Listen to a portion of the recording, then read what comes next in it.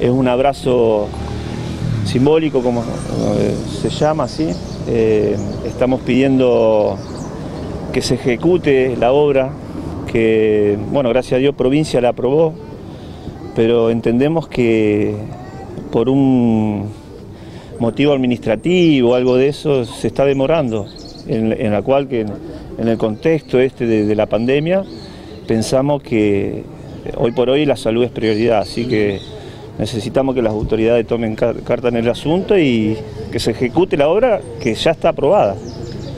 ¿Y actualmente cómo están trabajando aquí en el centro, José, con todo este en medio de la pandemia? Claro, eso, bueno, nosotros desde la vecinal siempre eh, tenemos quejas, acá los enfermeros, bueno, el director eh, necesita trabajar con comodidad.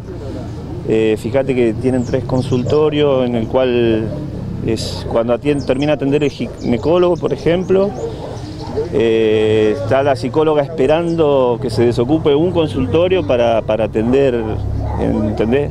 Nos falta el consultorio, en la cual también queremos que haya un kinesiólogo, eh, el dentista también presta su, consultorio y, entendemos que así no se puede trabajar. Eh, también, eh, fíjate que ahora se viene la baja temperatura y la gente espera acá afuera y genera un malestar, tanto en, el personal como en el vecino que se viene a atender. Tenemos fe que el, el gobierno provincial que nos aprobó, estamos agradecidos que nos aprobó el proyecto, pero entendemos que está un poco demorado. ¿Y alguna respuesta por esa demora de por parte del Ministerio de, Salud?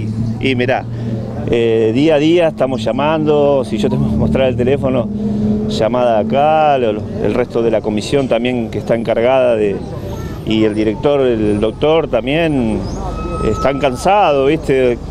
Pero tenemos fe que se va a hacer, pero lo necesitamos ya.